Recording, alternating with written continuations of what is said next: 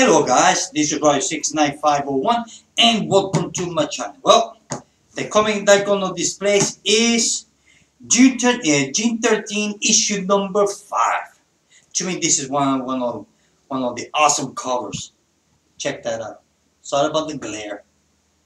Awesome, huh? Uh, I'm gonna put here. So let's see. Nope, nope, nope, nope, nope. Yeah, right. Okay. So I'm gonna give you my thoughts for Batman issue number 66, Maelstrom of the Mind. Now check out this cover. Awesome. So the story. Well, the story is pretty straightforward. Nothing more, nothing less. Basically, the whole story goes between Catwoman and the Question. Inside of Batman's mind. Actually, inside of Batman, Batman's dream. That's it. So the question, what he does, well, what he always does is ask question to Catwoman. So Catwoman is telling the question, this he her side of the story, how they met, and why they broke up. So what I like about so we get to see from the beginning when they first time met, when they fight on the street, as we can see here on this panel. So this white page over here is the the green world, I guess you can I can call it. So it changed from colored pages to white, black and white colors. As we can see here, I'm going to show you. See what I mean? Nice, huh? So,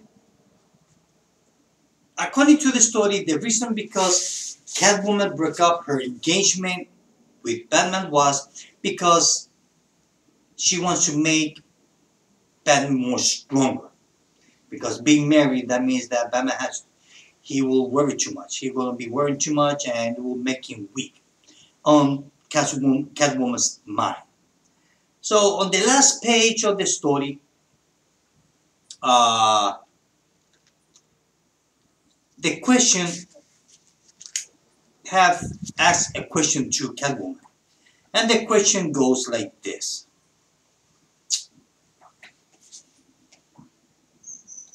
So let me ask you, Selina. You're very intelligent. You know him better than anyone. If this was your reason to make him strong, why is he so damn weak? And he's talking about weak, talking about Bruce Wayne.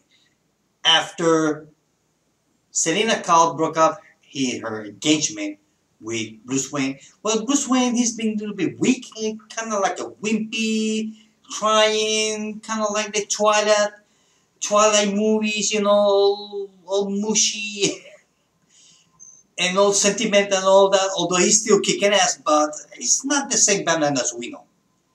So, Catwoman answer was this. Complete silence. And on the last panel, she says to the question, okay, I lied. And that was it. That was the whole story.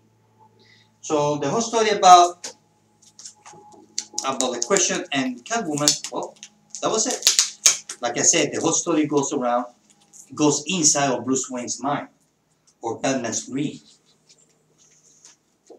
It's not going to happen again. Uh, now the wind can blow all, all he wants.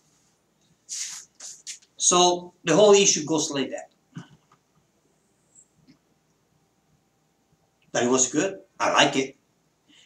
I find it to be a little bit short, although although it has same amount of pages, but I find the the, the, the reading to be a little bit short. It was interesting. I like it. It was very interesting.